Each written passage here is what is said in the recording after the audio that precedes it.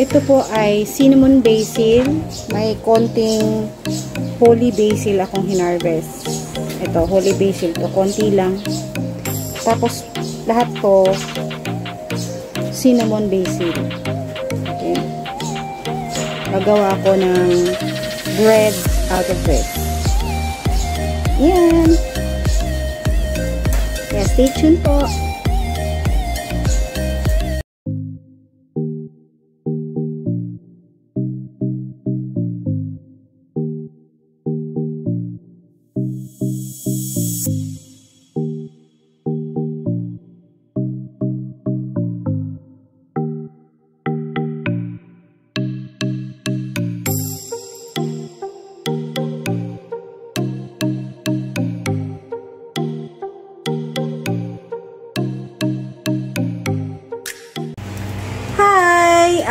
Today, gagawa ako ng cookies at bread.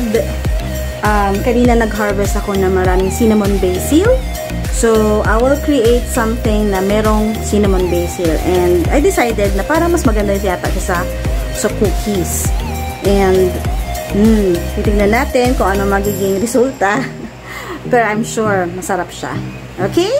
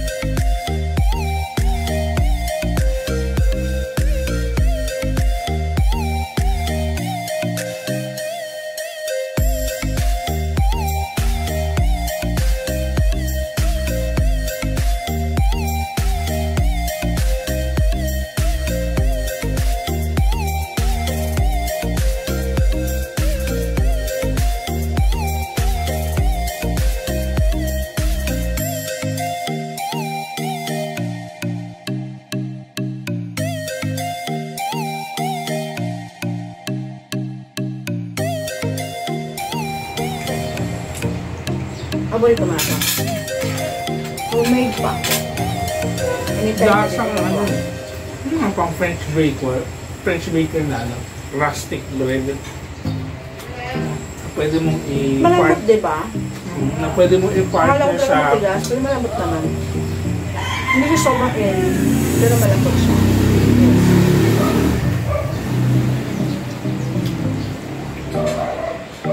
Panalo! Mm. Anyway, if you like this video, please give this a thumbs up. And please do subscribe if you're new to my channel. If you have questions, huwag po kayo mag, ano, mag uh, hesitate to let me know. Just send them or write them sa comment box and I will answer as much as I can. Okay? Um, hindi po ako master sa bread. Kumain na naman ako. Hindi po ako magaling sa bread making. Bago rin ako. But since I have a lot of things here, I will try to explore and experiment um, and create new recipe para magamit ko naman yung um, herbs sa pastry ko. Okay? Maybe next time, cookies naman, Not bread. or flatbread. Flatbread, yeah. We also like flatbread. Hindi lang tayo nag-cookies ngayon kasi nga mataas sa sugar, so we're trying to control our sugar. But maybe soon, mm, yeah, maybe soon I can create another batch of recipe na may cinnamon basil. Okay? Thank you for watching. Bye!